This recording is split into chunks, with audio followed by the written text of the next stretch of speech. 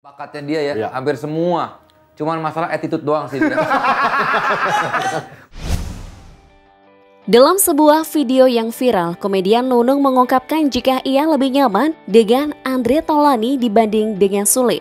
Pengakuan Nunung tiga tahun silam tadi memang kembali menyeruak dan ramai direspon warganet pasca menggelindingnya penceraian komedian Sule dan mantan disjoki Natali. Dalam video yang ramai diposting ulang tadi, Andre selaku host kala itu meminta Nunung memilih antara dirinya atau Sule dalam partner melawak.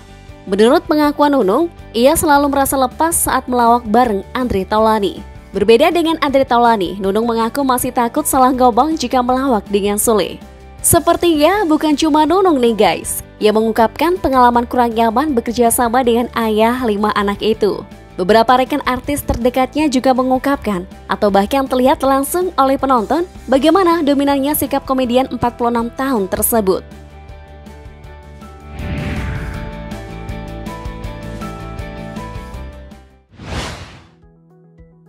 Andre Taulani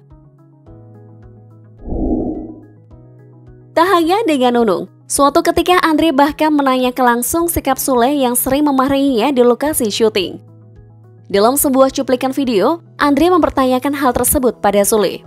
Lu harus jujur ya. Iya.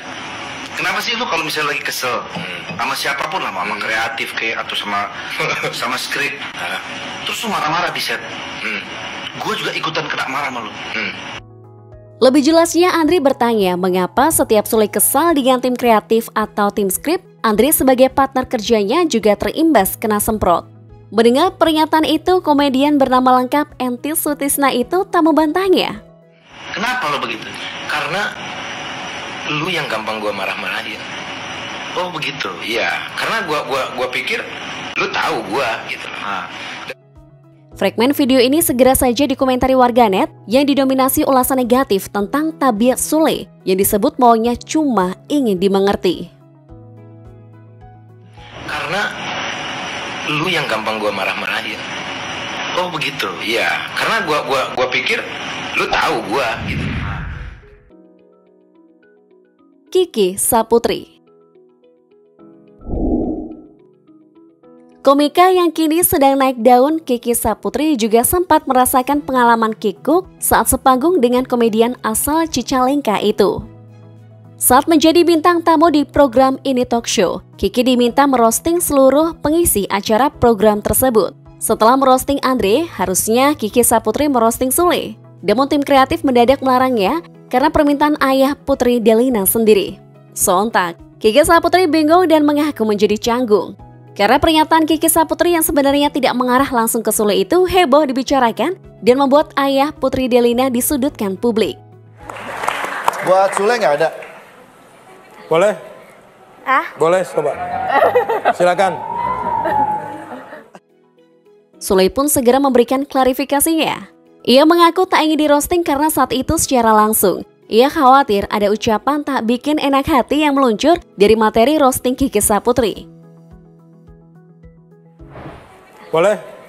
Ah? Boleh, coba. Silakan. Sandi Aulia Karena menolak di roasting Kiki Saputri, video Sule yang tersinggung dengan ucapan bintang film Feel I'm In Love, Sandi Aulia, akhirnya kembali diungkit warganet.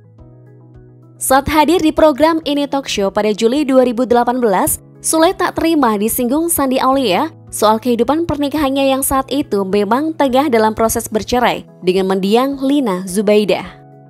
Privacy, jangan diusik-usik masalah itu. Karena saya juga tidak mengusik keluarga Anda. Iya, iya. Oke, mohon maaf ya. Baik, baik. Ayah lima anak itu memarahi Sandi karena menilai Sandi tak patut menanyakan masalah pribadinya. Padahal sebelumnya, Sule juga sempat bertanya pada Sandi Aulia soal dirinya yang belum punya momongan, yang merupakan pertanyaan yang bersifat pribadi. Dirayu aja. Gimana sih kalau ngerayu?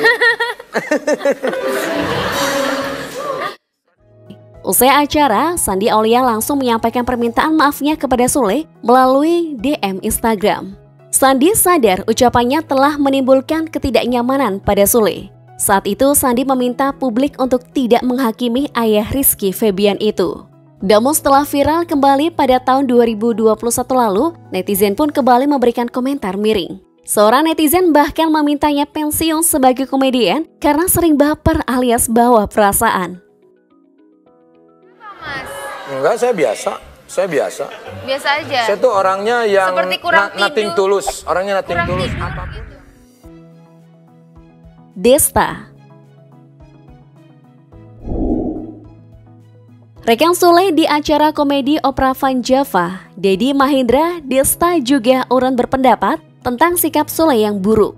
Presenter Tonight Show yang sering kocak karena keceplosannya itu bahkan mengatakan langsung di hadapan putra sulung Sule. Kala itu Rizky Febian hadir sebagai bintang tamu podcast Desta Mahindra dan Vincent Rompis di kanal YouTube Vindes.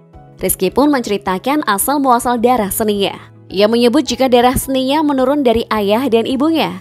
Desta pun spontan mengakui dan menyinggung soal Sule yang memang memiliki talenta seni luar biasa dan diakui banyak pihak. Hanya saja, Desta menyayangkan perilaku Sole yang kurang baik di tengah karirnya yang moncer. Menga- tidak mengakui bakatnya dia ya, Iya. hampir semua. Cuman masalah attitude doang sih. dia. Mendengar opini Desta tersebut, Rizky Febian mendadak tertawa. Sang anak pun membela ayahnya yang disebut memiliki sikap seperti itu karena sosoknya yang idealis. iya benar. Mungkin idealisnya aja, Betul. cuma beda penyampaiannya jadinya gitu. Jawaban Rizky Febian itu justru membuat Desta curiga karena merasa kakak putri Delina itu juga menyetujui ucapannya. Mengakui bakatnya dia ya, Iya. hampir semua. Cuman masalah attitude doang sih. dia. Natalie Holzer. Kali ini sosok yang pernah sangat dekat dengan presenter dan bintang sitkom itu Natalie Holzer juga membeberkan sikap toksik mantan suaminya tersebut. Jauh sebelum melayangkan gugatan cerai, Natalie belak-belakan menceritakan hubungannya dengan Sule yang sudah tidak harmonis. Saking dinginnya hubungan mereka, Natalie dan Sule jarang bertukar sapa kendati tinggal serumah. Selain itu, wanita mu'alaf tersebut mengaku juga sudah lama tidak satu ranjang dengan Sule. Karena menganggap situasinya sudah tak aman dan sehat, Natalie pun memutuskan untuk angkat kaki dari rumah. Setelah angkat kaki dari rumah, Sule sudah jarang menghubungi Natalie secara langsung. Sule hanya menghubunginya saat ingin melihat Azam, anaknya.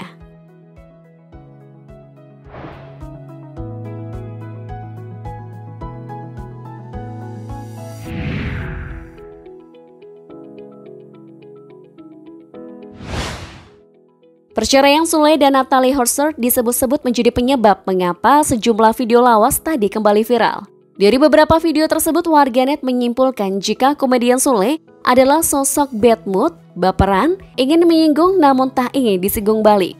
Publik pun menghubungkan jika sikap Sule tadi menjadi salah satu pemicu Natalie mengajukan gugatan cerai. Dah guys, dengan sejumlah opini publik yang cenderung memojokkan sang komedian, apakah menurut kalian karir Sule akan segera tamat di layar hiburan tanah air?